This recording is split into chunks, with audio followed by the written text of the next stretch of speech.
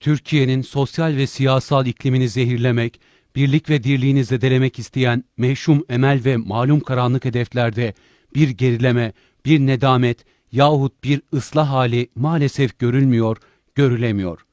Kriz severler her fırsattan istifadenin peşindeler. Kaos ve korku tacirleri her gelişmeyi karalamanın, her durumu haşince kurcalamanın, haince kumpasa çevirmenin hevesindeler. Yetmedi mi bunalımlar, yetmedi mi ağır ve beka düzeyindeki sorunlar?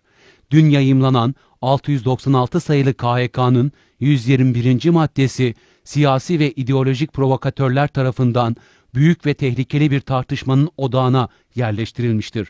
Hep aynı simalar, hep aynı nakaratlar, hep aynı itham ve iftiralar yine sahne almıştır.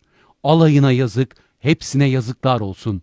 15 Temmuz FETÖ darbe teşebbüsü ve terör eylemleriyle bunların devamı niteliğindeki olayların bastırılması kapsamında hareket eden vatan evlatlarının 6755 sayılı kanunun birinci fıkrası uyarınca hukuki, idari, mali ve cezai sorumluluklarının doğmayacağı hüküm altına alınmıştır.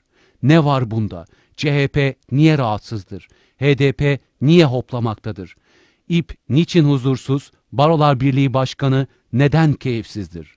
15 Temmuz'da milli beka, zillet ve zulmet dolu saatlerde bizzat millet tarafından savunulmuştur. Bundan gocunanlar FETÖ'nün kurşun askerleridir. FETÖ'ye cesaretle direnenler, darbecilere meydan okuyanlar, istilacılara vatanı dar edenler yargılansın, cezai sorumlulukları doğsun mu isteniyor? Bu soruya evet diyenler varsa bize göre vatan hainidir. FETÖ'nün uyanmış ve harekete geçmiş kripto koludur. Devletin zora düştüğü her şart ve anda millet devreye girerek gereğini muhakkak yapmış, yapmasının önüne de hiçbir kokuşmuş ve işbirlikçi geçememiştir. 15 Temmuz ve 16 Temmuz'da Türk milleti meşru müdafaa refleksiyle zalimleri, hainleri, haşhaşileri fitnelerinde boğmuştur. FETÖ'den hesap sormaya yanaşmayan, FETÖ'yü aklamak için 40 takla atan CHP'nin 696 sayılı KHK'nın 121. maddesini bahane ederek çıldırmış gibi korku yayması, arkasına taktığı marjinal siyasi partiler ve sivil toplum kuruluşlarıyla patırtı gürültü çıkarması tek kelimeyle rezalettir. İnsanlar sokakta birbirlerinin kafasına sıkarmış, iç savaş çıkarmış, militarist bir toplum ve devlet yaratılıyormuş. 11. Cumhurbaşkanı Gül de hukuk devleti açısından muğlak ve kaygı verici buluyormuş. Ben de vehme kapılmış bu zihniyetleri endişeyle takip ediyorum. 15 Temmuz'da devletin bekası için millete tarihi bir görev düşmüştür. Ve bu görev icra edilmişken sonucu itibariyle gelecek yıllarda doğabilecek risk, tehlike ve cezai sorumluluğun önceden bertaraf edilmesi milli şuur ve ruhun kaçınılmaz icabıdır. O hal kapsamında çıkarılan 696 sayılı KHK'nın 121. maddesinden rahatsız olmak, 251 şehide hakaret, 2194 gazimize haysiyetsiz bir saldırıdır. Meskur bu maddenin örtülü af olarak sunulması sefil bir uydurmadır.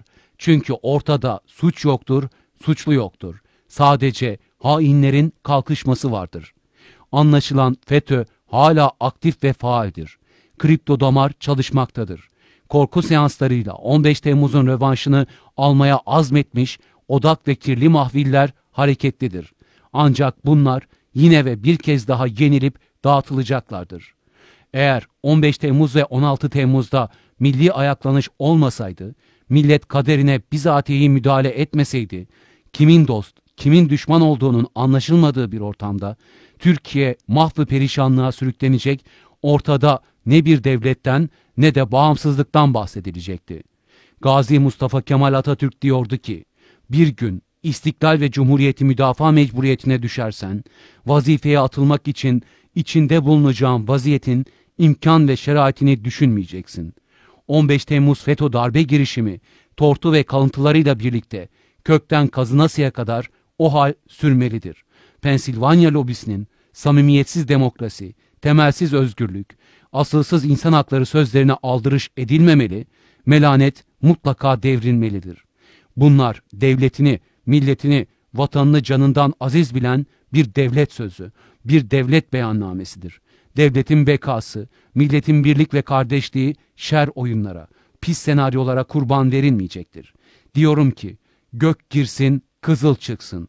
Ayrıca ve son olarak taşeron firmalarda çalışan kardeşlerimizin hak ettikleri kadroya kavuşacak olmalarından ziyadesiyle mutluyum ve bu çerçevedeki desteğimiz de tamdır.